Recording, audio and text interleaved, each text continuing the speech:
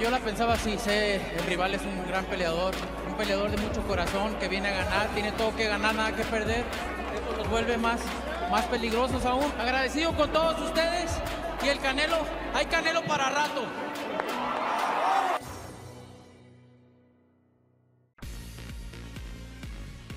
Amigos de Box Time, se está comentando y se está viendo un favoritismo a favor del Canelo Álvarez. El presidente Mauricio Sulaimán ha comentado que la pelea de Canelo contra Charlo va a ser muy buena para el boxeo. Va a dejar un precedente, una pelea que se estuvo pactando desde hace años enteros y que si se da en septiembre de este año va a ser épica, ¿no?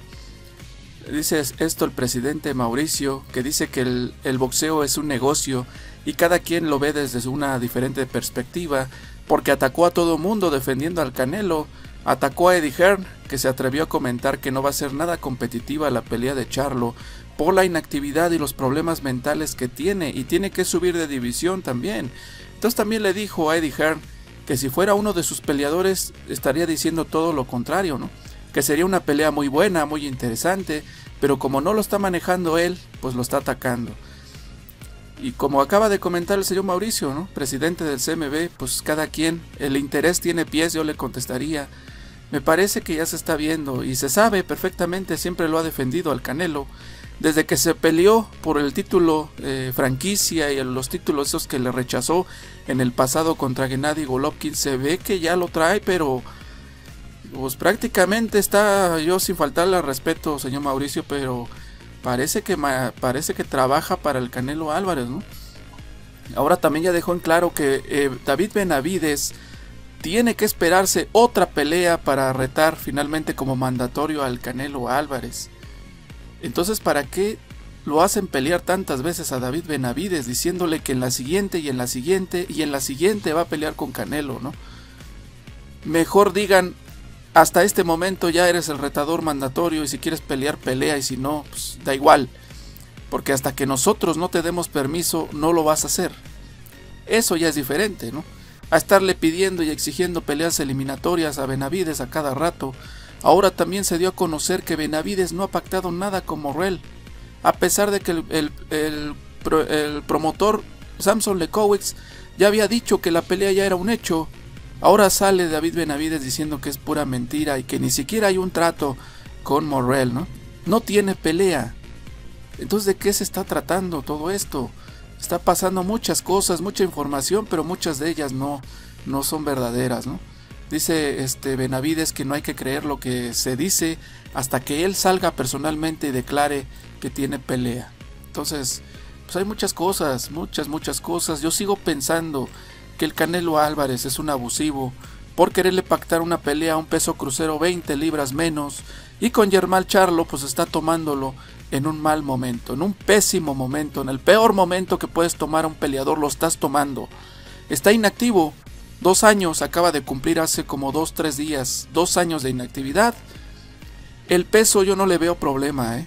El peso para mí es el menor de los problemas. Es un peleador grande de un metro ochenta y cuatro y, que, quería subir a 168 desde hace tiempo. El peso no es ningún problema, me parece que ahí sí, lo tendría que subir en cualquier momento. Pero el problema mental, ¿qué? Ya se curó. O sea, qué milagro, ¿no? Qué milagroso es el Canelo Álvarez. Cura a los peleadores cuando van a enfrentarlo. Ya se, le, se, se curó de los problemas mentales el señor. Ahora el presidente Mauricio estaba defendiendo a su campeón mundial antes de que Canelo lo llamara estaba diciendo que lo iba que lo iba a apoyar al 100%. ¿A poco ese es un apoyo? Enviarlo a los leones. Por mucho dinero, ¿eh? Sí, lo van a, le van a pagar muy bien. Pero lo más seguro es que va a perder por todos esos problemas. Eso es ayudar. Eso es cuidar la integridad de los peleadores. En serio. Esta persona, este señor presidente, en, en verdad, que me parece que está hablando con el hígado, ¿no? O sea, ¿no? Dice que una gran pelea, competitiva al 100%, ¿no? No estoy de acuerdo. Los problemas mentales, eso es el, gran detalle de este peleador. Supongamos, supongamos que la inactividad no le pegue. Supongamos que el peso tampoco porque es joven y está grandote y está alto. El problema mental, ese sí es un problema, ¿no?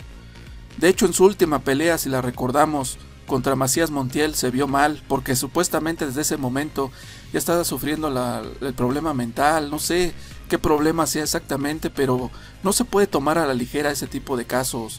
Y este tipo, este señor, Sulaimán, dice que la gran pelea, como yo lo dije, he dicho y hecho lo que yo comenté hace unos días, ¿qué es lo que va a decir Mauricio? Pues que va, que va, ¿no? Que es una gran batalla, que inolvidable, insuperable, pues, el, el dinero, señor Mauricio, ese es el tema. El 3% que le cobra al Canelo no es lo mismo que cobrárselo a Benavides. Benavides no va a ganar nunca lo que gana el Canelo.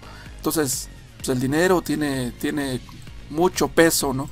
En este tipo de situaciones. Lo tengo que comentar directamente. O sea, ¿para qué decirle cosas que la verdad es lo que son? El dinero mueve al señor Mauricio Sulaimán. Por supuesto que va a apoyar al Canelo Álvarez sobre cualquier peleador así lo tome con una inactividad de 10 años, él dirá que es una gran pelea, ¿no? Adelante, dice así el señor Mauricio. Ah, sobre, sobre eh, iba a decir Badu Jack. También criticó a Badu Jack porque no se rifó. O sea, porque no bajó 20 libras, ¿no? Y no aceptó cláusula de rehidratación. Dice que también, pues, ¿por qué no acepta, no? O sea, no, qué inconsciencia, ¿eh?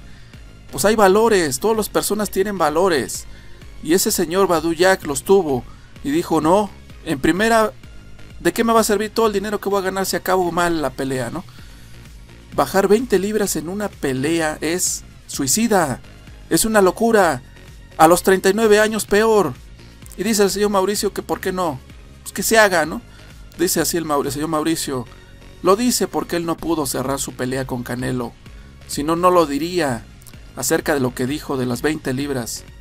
Si Eddie Hearn tuviera firmado a Charlo, sería la pelea más competitiva en la mira de Eddie Hearn. Cada quien habla conforme de cómo le va y sus intereses. Es la realidad del negocio del boxeo. Y usted está metido en ese negocio, señor Mauricio. No hay que hacernos, le encanta el dinero. El dinero del Canelo es muy bueno, el 3% de la sanción que le cobran cada mensualidad que le están sacando al mexicano por usted quisiera que el mexicano no se retirara nunca, ¿no? Por las grandes bolsas. Benavides, ahora lo de Benavides. Benavides es el retador oficial, eso es indudable.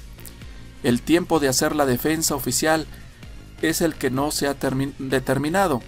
Pero ahorita Canelo tiene la oportunidad de hacer una pelea previa a la mandatoria.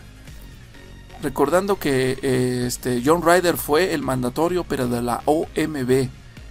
O sea, entonces ahí está un espacio que el señor Mauricio está tomando en cuenta. Dice, Charlo es un peleadorazo, invicto, que le ha ganado a los mejores.